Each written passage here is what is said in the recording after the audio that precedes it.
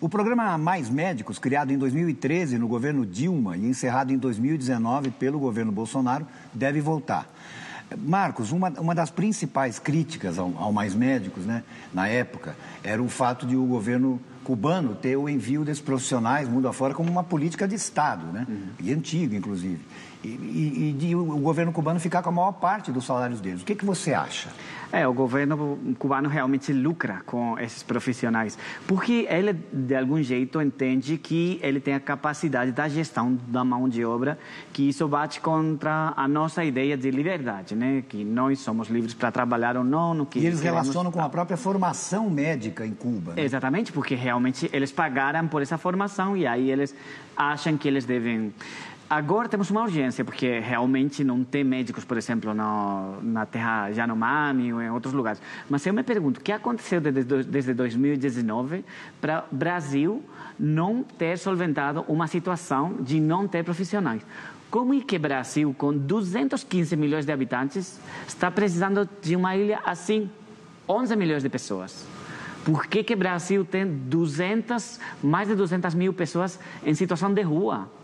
Por que, que Brasil não forma esses médicos? Que que, por que queremos ter os jovens em trabalhos ilegais, no crime, na rua?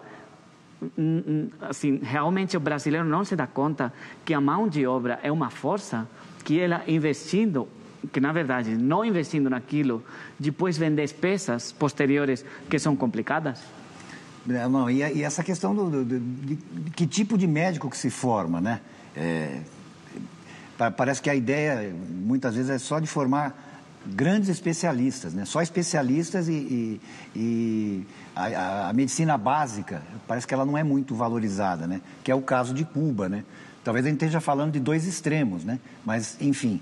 O que, que você acha, Samanta? O, problema brasileiro, na verdade, não é, é um, pequeno número de médicos, né? formam-se muitos médicos, mas, mas a distribuição no país... É é, por que, é tão difícil convencer o, os brasileiros a trabalhar em lugares remotos, né, longe dos grandes centros, né? Quer dizer, falta é, incentivo financeiro, né, um, ou um projeto estruturado, né, de formação e, e, e assistência médica, sei lá.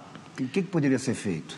É, eu acho que por um lado falta estrutura, como você falou. Imagina você luta, tipo, quatro, não sei como que é no Brasil, quatro anos para ser médico. Seis anos. Seis anos, luta, né, para se formar. Aprende exatamente como tratar as pessoas com qual remédio. Você vai lá pro meio do nada, não tem nem paracetamol e se vê as pessoas sofrendo, você não pode fazer.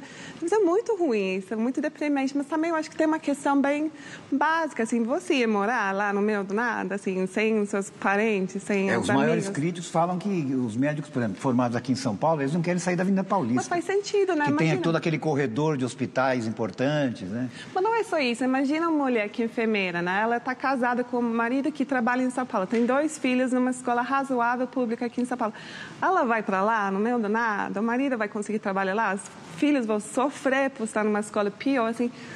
É, o que se é, é fala às vezes é que teria que ser uma coisa meio na base da formação mesmo, né? Tem Dos que, jovens, é, né? Tem que formar pessoal de lá, isso é o ideal, como você fala, tem que formar esse pessoal da região mesmo para ser médico. Só que isso você tem que olhar para o longo prazo, que é uma dificuldade enorme aqui.